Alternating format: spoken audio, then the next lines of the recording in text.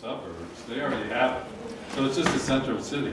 I think what we're, I think we'd be talking, I think we'd be talking about the city, whether we're talking about the entire city or just pockets of the city is open to debate. There are communities that have had resentment among people really mad that some people are getting the internet for free. And it was a political problem. So I think ultimately, I believe that you could, you could, what I would like to see is, you just spoke about how you want, they were gonna charge two hundred dollars for a commercial building like this. Um, if we could, if we could do this citywide and also market it, um, at a low cost for businesses, um, I believe that it could be an economic development engine as well. So I think there are other things that we could do with the municipal network, which is what Chattanooga did. There are other things we can do with the municipal network that could really put Rochester on the map in other ways. Um, so yes, I, I don't think we should talk about the suburbs um, as it relates to this, but I don't think anything should necessarily be off the table. So it just makes it simpler to think about as it connect to the city, I you know, know. Pittsford, politically, it's. Fairport, and And who knows though, maybe Pittsford and Fairport. So one thing that the, one thing, one thing that the Rochester City School District wanted to do when they designed their network that never got off the ground because they were never able to get grant money. If you want the gig service, you pay. Everyone else gets slower service for free. So perhaps connecting Pittsford and Fairport pays for the rest of the network to other people that get it for free. I mean, it's, those are the kinds of questions that you really have to ask. Um, the, the city school district and Marie Leonard, who is now the chief of staff but was the um, chief community technology officer, she really had a wonderful idea for how they could make this work um, for their students and how the network could pay for itself. And the way that she wanted it to pay for itself was to charge businesses and homes who wanted to pay for gig service, charge them, but everyone else gets maybe 30 megabits per second, which is plenty fast.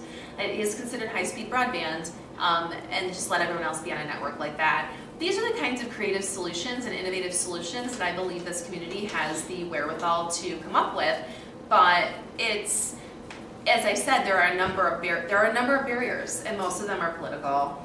I don't believe the financial is a barrier, to be honest with you. We throw so much money around this community on other things, roads, for example. I mean, this this month in the county legislature, I mean, I think we're approving twenty million dollars in road projects. You could you could whack off uh, a, uh, a a Wi-Fi network for twenty million dollars pretty quickly, right? But nobody, but people would people would say, oh my gosh, that's Wi. People, people's brains are just not. We're not wired to think about internet as an infrastructure project, and but it is.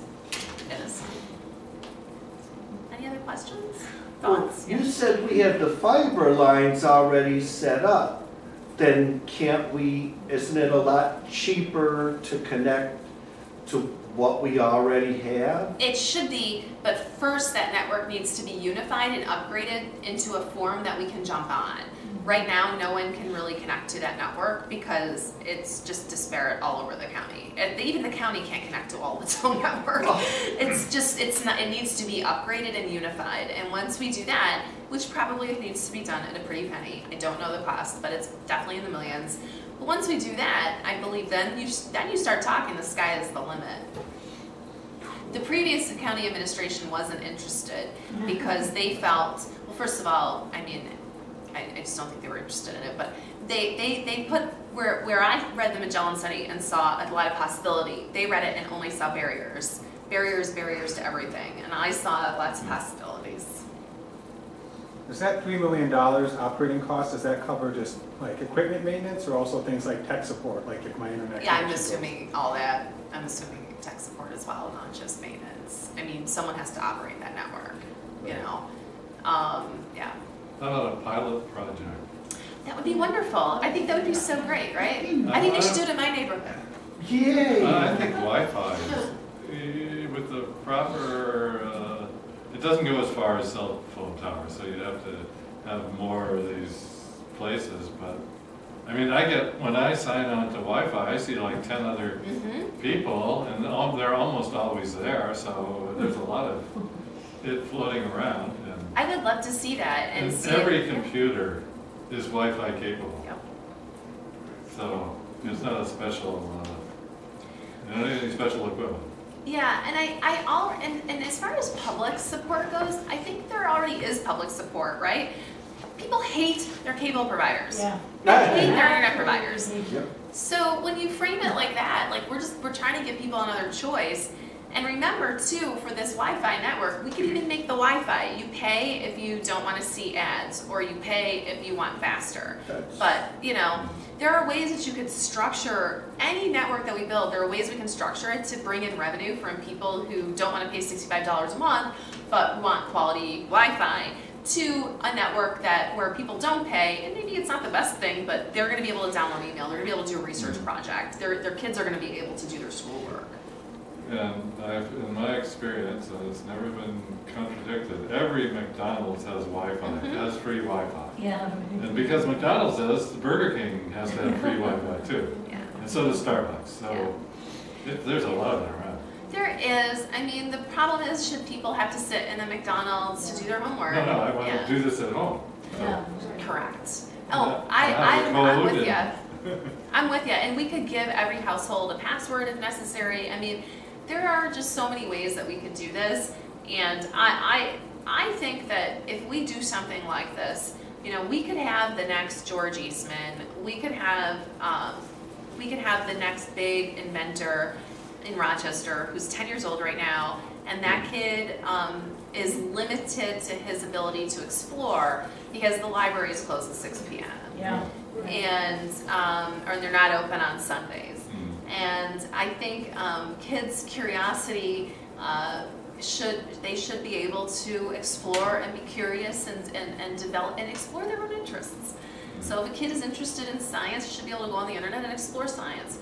So I, I think, and, and I also really do believe there is an economic development component, which I didn't really talk about a lot because I really think we have to solve this first problem, but I think that people are paying too much for internet. Hmm. these businesses, these small businesses are paying way too much, these nonprofits are paying way too much, and we should have a mechanism. And it, think about how it would attract people to the city. And, and if hmm. you did have a pilot program in, say, Beechwood, maybe people would want to move to Beechwood and hmm. invest in Beechwood because you get free internet at Beechwood. And then you could expand that out to other neighborhoods. I just think the spillover effect to having um, to having free internet it would be extraordinary because again, people as hate it- internet. As it grew, then you could tap into that Yeah. fiber network that you have available Mhm. to increase your, Right. your Well, remember. Wi-Fi is, Wi-Fi is connected to fiber. Fiber is always the backbone to Wi-Fi network. So we could use existing. We could use the so the city. la- For the last mile, you use Yes. Yeah. So the the city. 100 yards. Correct. The city of Rochester does not have its own fiber. It rents fiber uh, long-term lease with Crown Castle. The, the fiber you told us that is running isn't used in the, No. all the sewers. No, the city was- doesn't. The city's not on the network. City has its own network. Well, but the- my point is you could, you could enable that Yep. network right there, and it just takes these routers, hmm uh, and the, and you have to know what you're doing, but. Yes. Fiber's already Yep, yeah, and um, you can just continue to build, to put um, better and better Wi-Fi equipment on there to, um, to boost it, yes. It's, it's really amazing what you can do, um, and I, I'm just, a, I'm just a big fan of doing something like this. I really believe the first step is a task force, if I can get that, and then be on the task force. Uh, if I can get that, then I feel like um, we can really force the conversation. I need people like way smarter than me uh, on this task force to just how do we let's solve the problem. And we'll probably need to hire another consultant to figure out okay, let's upgrade this network. Uh, let's let's tie the network together. Um, I, I would really want to do it with the end goal of opening it up to the community. Um, I, you know, I wouldn't want to be part of something that stops with I mean, although I think it's a worthwhile project to make a government internet network, I, I, I still think that the end goal should be opening something up like that up to the public. We own it. Well, along with what you were saying about um, involving people, which is one of the big, big pieces, there could be some way with you could come up with some interesting PR kind of stuff that's kind of fun, and goes after spe- uh, Spectrum or whatever. And then it's the meeting with neighborhood groups, and the, and I, one of the things that's kind of changed a little bit in Rochester is it used to be, uh, you know, some uh, associations that uh, kind of wore out, and then it was uh, people with block clubs, you know. But what has happened more recently, because people are very angry with the city about development, so these, some of these neighborhood groups, some of which are new, some of which are joined with other block clubs, have taken, I think, a renewed interest. Uh, and you won't know that really until you actually sit down with them, you know what I'm trying to say? So it's not like, you know, walk in a room and say, oh, well, um, but, um, and you know, like anything else, doing, uh, introducing this to people in a way that's kind of maybe a little interesting, you know, has a little humor to it, uh, you know, ways to do this, and then working with neighborhoods about, you know, listen, you, this could save you money, this, this could do this, it, it kind of be some of the ways you were presenting it, which makes people more motivated, because it's a personal, it's a face-to-face, you Oh, know, it's yeah. not overnight, you, you, obviously you can't do these things, but an ongoing commitment, given what I just said about these neighborhoods, I think they're looking for, you know, this isn't easy to do, but you're, they're looking for something that continues to identify them as meaningful people, not just, oh, well, you're there, you get your trash, and please shut up the rest of the time. You know, so, so, and it's a tricky piece to get to this, but I think it's possible, it takes effort, It takes a lot of effort. Oh, yeah, Yeah. absolutely. I agree yeah. with you, I agree with the idea. The community engagement piece is huge, and it, um, it's huge, and it's, it's not easy, it's why it's gonna take lots of different people, but when I say stakeholders, I mean, you're talking about government, you're not just talking about the public, you're talking about a lot of different organizations, and, and you, are- you are talking about the big telecom, let me tell you, they, they'll fight something like this tooth and nail, Yeah, I can imagine. and it will be very difficult.